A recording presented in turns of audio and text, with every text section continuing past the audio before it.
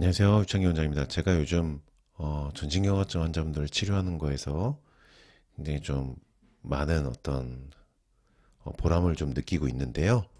지금 이 환자분 같은 경우는 이제 최근에 치료 시작한 지 이제 한 달이 안 되신 전신경화증 환자분인데 어, 좀 단기간 내에 급속도로 좀 전신으로 경화가 진행되고 있는 분입니다. 그래서 손목, 손가락 마디, 발목, 다리 전체 이 보시면은 급격하게 진행이 돼서 다리가 좌식이 되지 않는 그리고 어, 이 색깔이 검게 얼룩덜룩 변하는 거 전신경화증의 피부 변화 특징이, 특징이죠. 온몸의 색깔이 검게 얼룩덜룩하게 변하는 거 그리고 몽글몽글 덩어리가 잡히는 거 이것도 음, 일종의 그 결절 현상이긴 한데요.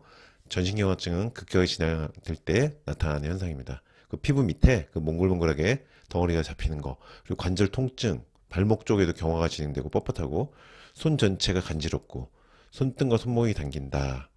한약을 투여하면서 지금 손등 관절이 부드러워졌다. 이 손등 관절 쪽, 손목 쪽이 어, 전신경화증이 딱 진행될 때 가장 어, 핵심적인 부위 중 하나죠. 손 쪽, 특히 손목 쪽, 손등 쪽. 이 부분이 지금 한 달이 아직 안 됐는데도 어, 부드러워지고 있는 변화가 나타나고 있습니다. 전신경화증 환자분들을 치료해 보면은 굉장히 반응이 이게 빨리 나타나신 분들은 굉장히 빨리 나타나고 있습니다. 그래서 어, 전신경화증 환자분들 요즘 치료해드리면서 저 자신도 이 한의학 치료에 대해서 굉장히 놀라고 있고 음, 그리고 굉장히 보람을 좀 많이 느끼고 있어요. 어, 전신경화증 환자분들이 류마스 관절염이나 루푸스 환자분들에 비해서 조금 더 빨리 어, 좋아지는 반응이 나와서 치료받는 분들도 좀, 좀 아무래도 조금 빨리 낫다 보니까 아무래도 신이 좀 나죠.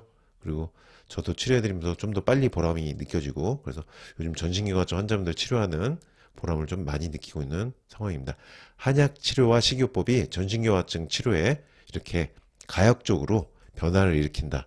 진행되고 있는 전신경화증의 피부 경화 상태를 부드럽게 만들어주는 이런 반응이 빨리 나타난다. 한약적 효과, 치료 효과가 전신경화증에서는 굉장히 잘 나타나고 있다는 거 다시 한번 말씀드립니다.